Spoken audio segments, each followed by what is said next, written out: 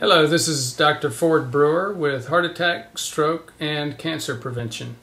Today we're going to be talking about uh, more cardiogenetics, genetics which associate risk uh, to for heart attack and stroke. Um, the two most uh, actionable uh, genetic tests on a daily basis are HAP22, uh, which we can respond to. We need to know if we're diabetic, and um, we need to think about a gluten-free diet if we have HAP22, haptoglobin 2-2. And the other one is the one we're talking about today, ApoE, ApoE234. Now, uh, that's gene 19q3.2. And again, long bunch of uh, indecipherable numbers. But remember how we talked about that's coded. Uh, there's 23 chromosomes in the human, and the first number is the number of the chromosome. So this is on uh, chromosome number 19, position Q.3.2. And again, it's better known as ApoE. There are three variations of this, or alleles, or what, we, uh, what are called SNPs, uh, polymorphisms. Anyhow, uh, that we'll talk about. They're numbered, number two, three, and four. Now, what does the word APO mean? APO is short for apolipoprotein. Well, what is an apolipoprotein? You remember we talked about lipoproteins in several other videos. Lipo means fat, protein means protein. We can't just digest fat and have it floating around in our blood. So it would it would cause uh, clots and stoppage of our blood system because of the large bubbles of fat. So we, our body has developed uh, proteins which put these fats in tiny microscopic um, particles, and that's what we're looking at when we're looking at a cholesterol test. HDL is a tiny, um, it's the good cholesterol, it's a tiny uh, lipoprotein particle with a lot more of the uh, protein, therefore high density. The larger proteins that have a lot of fat in them are lower density. Fat floats and it's lower density. So that's LDL, which is the bad cholesterol. So you want more of the empty dump trucks or HDL floating around with those proteins that can suck up cholesterol. All of that's lipoproteins. Now, what is apolipoprotein? It's very simple. Apo simply means that it's the combination of the um, protein with the fat together, not one uh, separate from the other. With apolipoprotein 2, 3, and 4, uh, I think it's a, it was, a lot of this was discovered before some of these terminologies were developed, so I think it's just a separate class. Now, why is it, what's the big deal here? Well, people with ApoE44, in other words, they got an ApoE4 from their mother and an ApoE4 from their father. They're what we call homozygous genetically, ApoE44. Uh, they have 10 to 30 times the risk of dementia. So this is a big deal. In fact, there is an ApoE4 community and people in this community uh, uh with ApoE44 also have a significantly increased risk for heart attack as well as dementia. Um, now, this uh, number, 10 to 30 times the risk, is what you see with Japanese and Caucasians. There are other uh, populations which uh, have even higher risk. For example, in Nigeria, the risk is even higher. However, the overall risk for dementia is lower in Nigeria simply because the uh, it appears to be because the overall cholesterol levels are lower and uh, maybe a little bit more of a healthy diet and exercise component.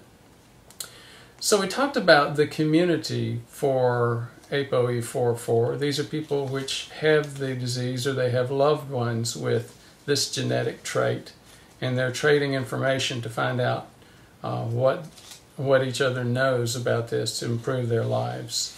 Uh, there are other communities that are focused on this issue as well. These are the uh, 2013 guidelines for the American Heart Association and the American College of Cardiology. Uh, this mentions ApoE um, uh, genetic status several times as well. One of their statements is look, if you're going to recommend a diet to someone, you really need to know their ApoE status. The way they worded it was is a little bit um, bureaucratic, uh, but you know what? That's okay. You need to know the ApoE status of um, of an individual if you're going to tell them what sort of diet to eat. Actually, you need to know that for other things as well, like alcohol and exercise. Um,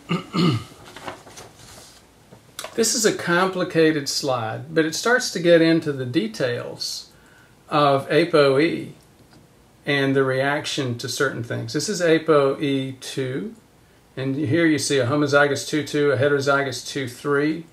Um, with a low-fat diet, uh, you get an increase in LDLs. Over here, though, with the ApoE uh, 3-4 and ApoE 4-4, you get a uh, decrease with a uh, decrease in LDLs with a low-fat diet. So as you can see, these two populations react very differently to the amount of diet or amount of calories provided by fat in the diet.